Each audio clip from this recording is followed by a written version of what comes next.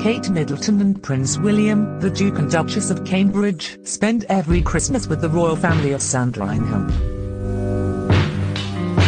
Along with their children, Prince George, Princess Charlotte and Prince Louis, they join the family for a strictly royals-only dinner and trip to church. Kate, now being future queen and mother to three heirs to the throne, is, of course, invited to the festive celebrations.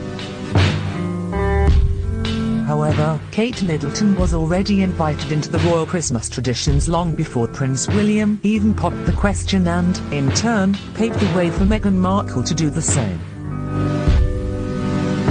In 2011 book The Making of the Royal Romance by Katie Nicholl, the expert claims that, in 2006, Kate was invited to Sandringham for Christmas dinner with the royal family.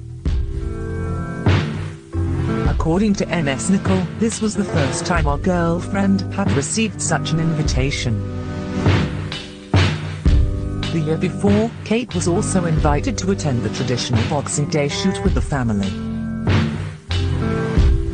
Kate's break in royal protocol made it less surprising in 2017 when Meghan Markle also joined the royals at Sandringham for Christmas, even though she was not yet married. Meghan and Prince Harry had only been engaged for one month before Kate, William, Harry and Meghan were all pictured arriving at a church in Sandringham on Christmas Day. In 2006, when Kate broke royal tradition, the Duchess was far from getting engaged. At the time, William is believed to have been having second thoughts about his relationship with Kate.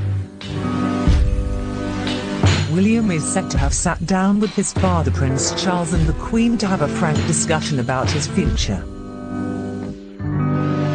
Both Charles and the Queen advised him not to hurry into anything. After a turbulent romance, William finally proposed in 2010 during a trip to Kenya. The couple married at Westminster Abbey in 2011 in front of millions of people worldwide.